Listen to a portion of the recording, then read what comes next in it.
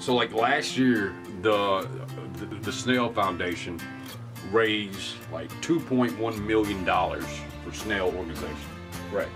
The, the the Donkey Foundation just all branched off of that have raised like 4.1 million for Donkey Foundation. Right. So what we want to do is we actually want to remodel the Map Studios here. Yeah. And uh, so, like, I, I I think Fuzzy here's got invested that he like he actually wants like, like a shark tank with a shark in it, but the shark won't be facing one way. We won't be able to turn. It won't be able to turn, The, just- the fact of the matter is, right we want a here. shark right Just, here. ju- yeah, just right up in here. I mean, facing this direction Yeah. towards the studio.